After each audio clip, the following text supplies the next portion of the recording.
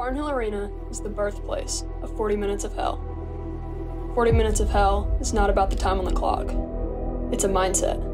The grit, the passion, the heart, everything you do from the first serve until the last. How you bounce back when you are faced with adversity. It's a 40 Minutes of Hell mentality, and we are bringing it back to Barnhill.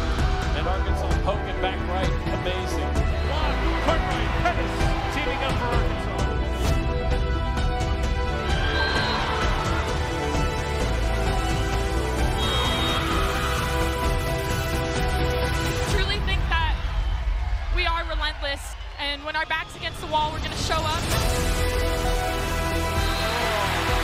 We will have a fifth set here at Barnhill. And a kill for Taylor Head.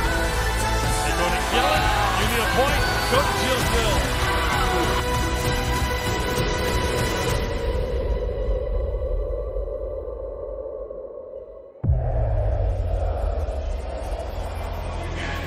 help right here.